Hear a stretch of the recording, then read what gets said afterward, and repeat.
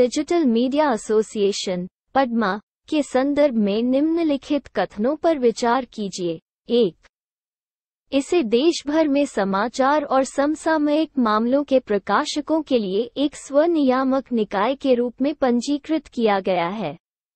दो, वर्तमान में इसकी अध्यक्षता भारत के सर्वोच्च न्यायालय के पूर्व न्यायाधीश करेंगे।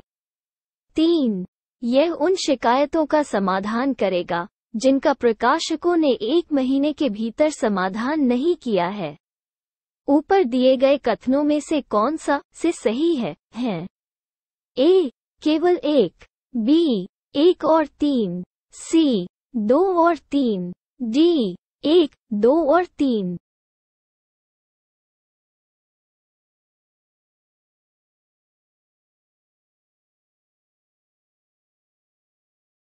उत्तर, ए। सरकार ने देश भर में समाचार और समसामयिक मामलों के प्रकाशकों के लिए प्रिंट और डिजिटल मीडिया एसोसिएशन, पद्मा, को एक स्वनियामक निकाय के रूप में मंजूरी दे दी है।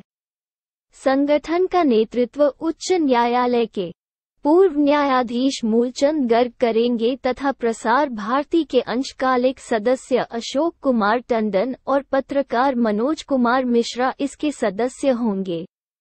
कार्य ये सूचना प्रौद्योगिकी, मध्यवर्ती दिशा निर्देश और डिजिटल मीडिया आचार संहिता, नियम 2021 के तहत निर्धारित आचार संहिता के अनुसार शिकायतों का निवारण करने का कार्य करेगा। प्रकाशक द्वारा आचार संहिता का निरीक्षण और पालन सुनिश्चित करना। प्रकाशकों को आचार संहिता के पहलुओं पर मार्गदर्शन प्रदान करना। प्रकाशकों द्वारा पंद्रह दिनों के भीतर समाधान न की गई शिकायतों का समाधान करना। प्रकाशकों के निर्णय के विरुद्ध शिकायतकर्ता द्वारा दायर अपीलों को सुनना। आचार संहिता का अनुपालन सुनिश्चित करने के लिए प्रकाशकों को मार्गदर्शन या परामर्श जारी करना। इसके साथ ही मंत्रालय ने सूचना प्रौद्योगिकी, मध्यवर्ती दिशा निर्देश और डिजिटल मीडिया आचार संहिता, नियम 2021 के नियम 12 के तहत मई 2021 से अब तक नौ स्वनियामक निकायों को मंजूरी दे दी है। निम्नलिखित कथनों पर विचार करें। एक, भारत ने राष्ट्रीय सुरक्षा सलाहकारों की पहली भारत मध्य एशिया बैठक की मेजबानी की। दो, अंतर्राष्ट्रीय उत्तर दक्षिण परिवहन गलियारा माल धुलाई के लिए जहाज़। रेल और सड़क मार्गों का एक बहुमोड नेटवर्क है। ऊपर दिए गए कथनों में से कौन सा से सही है है? ए, केवल एक, बी, केवल दो, सी, एक और दो दोनों, डी, उपरयुक्त में से कोई नहीं।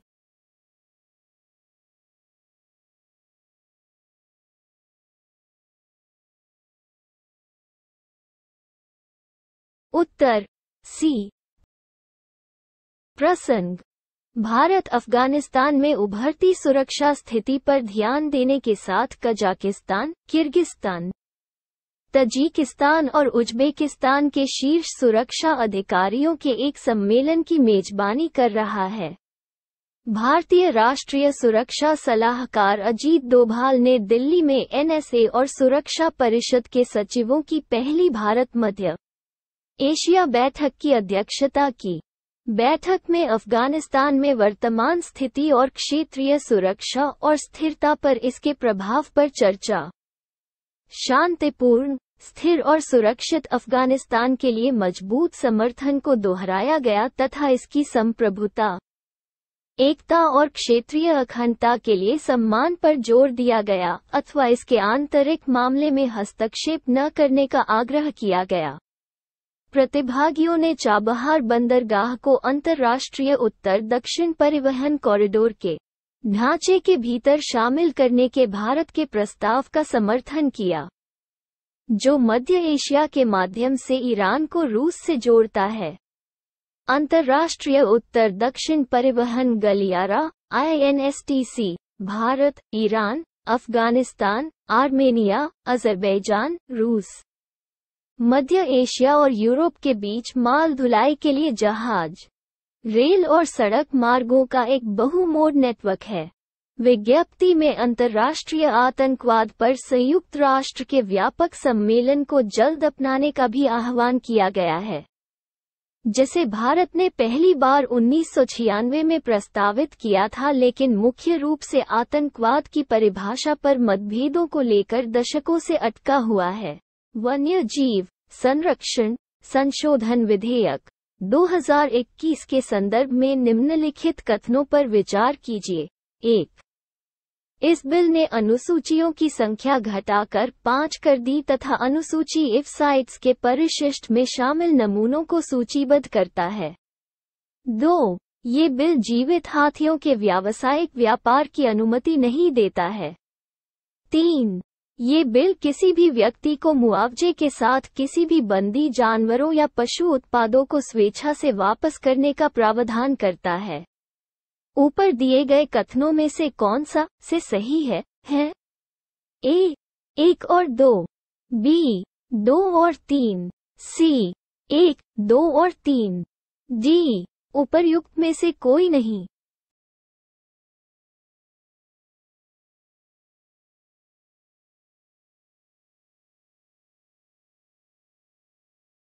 उत्तर डी वन्य जीव संरक्षण संशोधन बिल।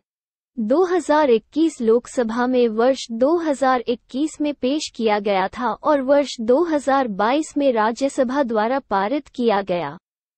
ये बिल वन्य जीव संरक्षण एक्ट 1972 में संशोधन करता है। यह अधिनियम जंगली जानवरों पक्षियों और पौधों की सुरक्षा को नियंत्रित करता है। यह विधेयक कानून के तहत संरक्षित प्रजातियों को बढ़ाने तथा वन्य जीवों एवं वनस्पतियों की लुप्त प्राय प्रजातियों के अंतर्राष्ट्रीय व्यापार पर कन्वेंशन, साइट्स को लागू करने का प्रयास करता है। अनुसूचियों को युक्त संगत बनाना। वर्तमान में अधिनियम में छह अनुसूचियाँ हैं। उपरयुक्त बिल अनुसूचियों की कुल संख्या घटाकर चार कर देगा। एक, अनुसूची। पशु प्रजातियाँ जिन्हें उच्चतम स्तर की सुरक्षा प्रदान की जाएगी दो, अनुसूची दो। पशु प्रजातियाँ जो कुछ हद तक संरक्षण के अधीन होंगी तीन, अनुसूची तीन, संरक्षित पौधों की प्रजातियाँ चार, अनुसूची एव। साइट्स के तहत परिशिष्ट में सूचीबद्ध नमूने, अनुसूचित नमूने यह विधेयक किसी भी व्यक्ति को किसी भी बंदी पशु या पशु उत्पादों को स्वेच्छा से मुख्य वन्य जीवन वार्डन को सौंपने का प्रावधान करता है। ऐसी वस्तुओं को वापस करने के लिए व्यक्ति को कोई मुआवजा नहीं दिया जाएगा। सरेंडर की गई वस्तुएँ राज्य सरकार की संपत्ति बन जाती हैं। जीवित हाथी के लिए अपवाद। ये बिल हाथियों के व्यावसायिक व्यापार की अनुमति देता है। ये पिछले अधिनियम वन्य जीव संरक्षण अधिनियम 1972 के विपरीत है, जो विशेष रूप से बंदी और जंगली हाथियों सहित जंगली जानवरों के व्यापार पर प्रतिबंध लगाता है। भारत में राष्ट्रीय दल के मानदंड के संबंध में निम्नलिखित कथनों पर विचार करें। एक एक दल समय समय पर राष्ट्रीय दल का दर्जा प्राप्त या खो सकता है। दो राष्ट्रपति के साथ मिलकर एसी एक पार्टी को राष्ट्रीय पार्टी या राज्य पार्टी के रूप में मान्यता देने का फैसला करता है। तीन, आप राष्ट्रीय पार्टी के रूप में मान्यता प्राप्त करने वाली नौवीं पार्टी होगी क्योंकि इसने तीन राज्यों से लोकसभा की कुल सीटों में से कम से कम दो प्रतिशत सीटें जीती हैं। ऊपर दिए गए कथनों में से कौन सा से सही है? है। ए, एक और दो। बी केवल एक. सी दो और तीन. डी एक, दो और तीन.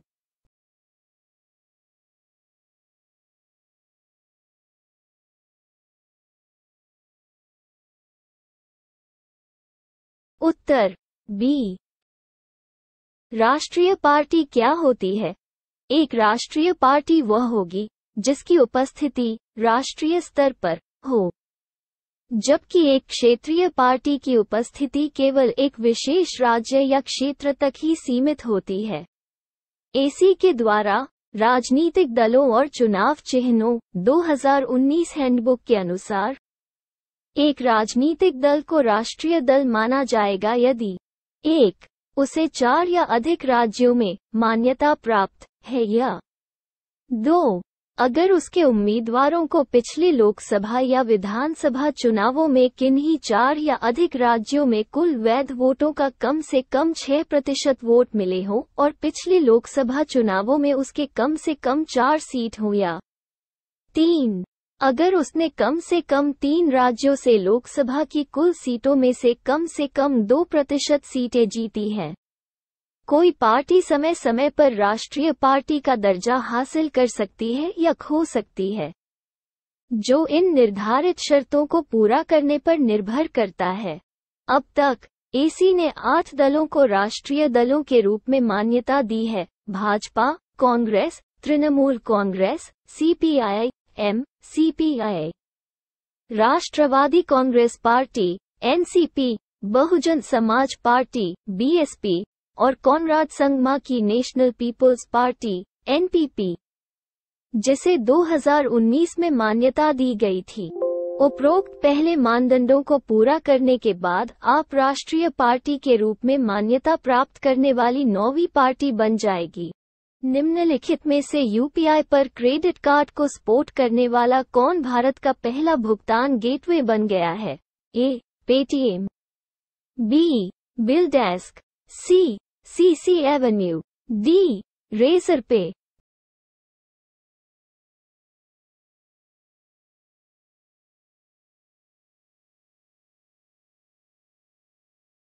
उत्तर डी भारत में क्रेडिट सुविधा को बढ़ावा देने तथा डिजिटल भुगतान को और मज़बूत करने के उद्देश्य से। Razorpay unified payments interface UPI पर क्रेडिट कार्ड को सपोर्ट करने वाला भारत का पहला पेमेंट गेटवे बन गया है।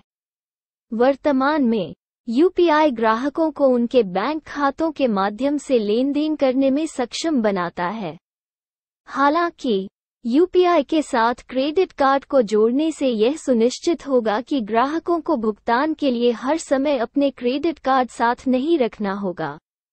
भुगतान गेटवे ये लेन देन प्रक्रिया में शामिल विभिन्न पक्षों के बीच भुगतान डेटा को प्रमाणित करने और सुरक्षित रूप से स्थानांतरित करने के लिए व्यापारियों द्वारा उपयोग की जाने वाली तकनीक है।